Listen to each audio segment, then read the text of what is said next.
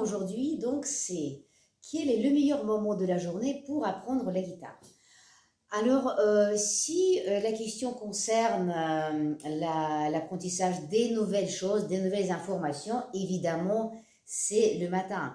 Car si on suit la nature des choses, on va dire comme ça, le matin, nous sommes quand même plus frais que le soir. Nous sommes d'accord, parce que après la nuit, notre cerveau est frais, donc il s'est bien reposé, donc il est prêt à accueillir les nouvelles informations. Donc, je vous conseille vivement pour moi, en tout cas, euh, je trouve que de voilà, 9h, midi, c'est vraiment top. Donc après, on commence à avoir faim. non, mais bon, en tout cas, voilà, si on mange pas aussi, on peut travailler un peu plus, donc et manger vers 14h, comme ça, vous terminez bien votre apprentissage. Et surtout, l'énergie ne va pas dans les digestions. D'accord? Je précise bien. Parce qu'à partir du moment où on a mangé, enfin moi, personnellement, je parle de moi et je vois sur, euh, sur mes élèves, euh, euh, voilà, les, élèves, ils s'endorment à moitié en cours, donc ils sont à moitié là, ils écoutent.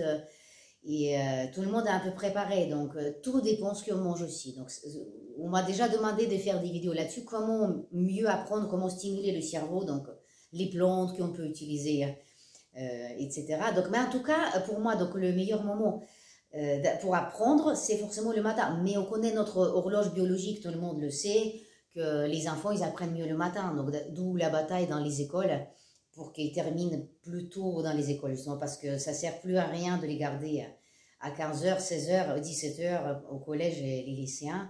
Donc, euh, voilà, donc on part aussi là-dessus. Je pense que, euh, justement, l'apprentissage, les nouvelles notes, les nouveaux cours, ça, c'est plutôt le matin. Mais tout le monde ne peut pas le faire, bien évidemment, aussi. Donc, euh, chacun travaille comme il peut. Et il y a aussi des gens qui travaillent très, très bien la nuit. Donc, ils sont au calme, ils sont tranquilles. Ils arrivent à assimiler l'information. Donc, je pense que chacun doit choisir aussi les moments par rapport à son travail, son mode de vie, etc. Naturellement, par rapport à la nature, évidemment, c'est le matin. Tout le monde le sait. C'est juste de la science. Mais après, encore une fois, je sais que quand je prépare des concerts, je rentre du travail des fois le soir et je dois faire encore une petite heure à 9h, 10h du soir, euh, des petits passages, la rectification. Donc, le, euh, le, cerveau travaille quand même, les doigts, les automatismes, c'est top quand même. Donc, on n'apprend peut-être pas vraiment des nouveautés le soir. En tout cas, je pense que ce sera moins rapide et moins efficace. Mais en tout cas, on travaille très bien aussi les doigtés. Donc, j'aime bien fermer les yeux quand je travaille le soir, justement. je, je, revois tout mon programme que je dois jouer. Donc, euh, c'est pas que je m'endors euh, à moitié, mais je me mets dans les têtes à vibration, vous savez, donc euh, ceux qui savent un petit peu ce que c'est l'hypnose ericksonienne ou l'hypnose médicale, donc c'est les ondes justement qui se trouvent entre veille et sommeil, donc c'est très très bon pour, pour notre corps humain, et c'est là que justement on peut aussi instaurer les bons automatismes entre ces deux, ces deux vibrations. Donc nous sommes en fait dans la journée dans les bêtes à vibration, c'est un peu haut, donc après Relaxation, c'est alpha.